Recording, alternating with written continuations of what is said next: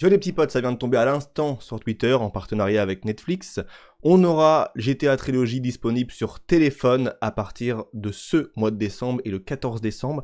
Gratuit, je le précise dès le début de la vidéo pour ceux qui ont un abonnement Netflix. Ça veut dire que si tu es abonné à Netflix et que tu as accès à Netflix euh, parce que tu as un abonnement tout simplement, euh, tu pourras te rendre en fonction de ta plateforme de téléphone, euh, Android ou euh, Apple, et justement te rendre sur les différentes plateformes et pouvoir posséder justement ces jeux gratuitement, euh, parce que c'est en partenariat avec Netflix Game, bien évidemment. On va aller voir d'ailleurs l'article en question pour essayer de comprendre un peu mieux tout ça. Si tu es abonné à Netflix, tu pourras y jouer sur ton téléphone, donc on testera tout ça à partir du mois de décembre, on essaiera de voir l'optimisation et tout, je vais essayer d'enregistrer des, bah, gameplays directement de mon jeu, tout simplement, et, euh, et, voilà, on découvrira ça ensemble, ça peut être cool également, de jouer un petit GTA sur téléphone, ça fait pas de mal. Donc, alors, c'est officiel hein, sur le truc de Netflix. On va lire un petit peu cet article pour essayer de mieux comprendre, Netflix officialise une collaboration surprise avec Rockstar Games pour apporter la trilogie GTA sur téléphone, enfin sur, la plateforme, pardon, gratuitement pour les abonnés, parce que c'est aussi sur le délire de Netflix Game.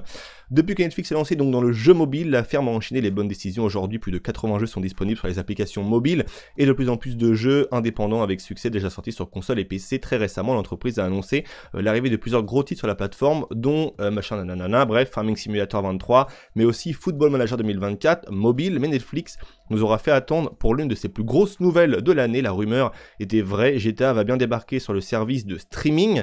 La firme annonce son partenariat avec le studio Rockstar Games dont euh, les premières fuites se verront avant la fin de l'année. Les joueurs ne pourront pas profiter du dernier titre de la franchise, mais d'une collection des trois jeux donc de la trilogie, tout simplement. Donc GTA Trilogy, l'ultime édition, GTA Trilogy Definitive Edition qui comprend donc San Andreas, GTA 3, Vice City sera jouable en version mobile dès le 14 décembre prochain. Les jeux ne sont pas euh, tout neufs, mais il s'agit d'une sélection représentative de toute la franchise qui contient quelques-uns des titres les plus appréciés de la licence.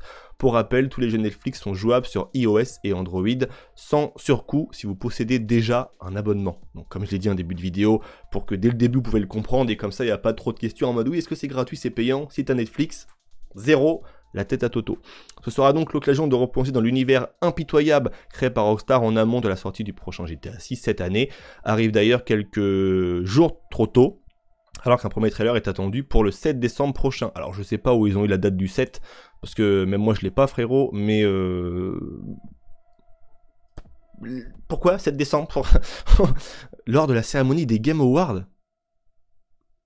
Là, il raconte de la D, c'est absolument pas du tout le cas. Bref, ok, on a le petit trailer qui est là sous nos yeux, et donc voilà, on voit euh, Netflix Games et tout. En fait, c'était le même trailer, ils ont juste rajouté le logo Netflix et on pourra à partir du 14 décembre gratuitement si tu possèdes un abonnement euh, sur téléphone. On testera tout ça ensemble, je vous ferai des petites vidéos, reste à voir comment je vais enregistrer mon écran de téléphone. Euh, on va voir, je vais essayer de, voir comment je faire tout ça. Et voilà, il n'y a pas grand chose à en dire de plus, on testera gratuit euh, pour celles et ceux qui disposent d'un abonnement Netflix. C'est mon cas, j'étais prêt à résilier mon abonnement Netflix parce que je regardais plus trop. On va le garder encore un petit peu. C'était Vince, votre avis par commentaire et on se retrouvera euh, dès que ça sortira pour tester tout ça le 14 décembre. Vous êtes les boss. Ciao tout le monde